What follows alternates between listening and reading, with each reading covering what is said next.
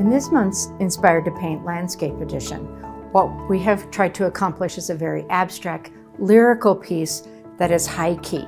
We've limited the, high, the value ranges in it and we've limited the colors to create something that, that has a feeling to it, uh, an emotional feel, instead of something very realistic or photorealism.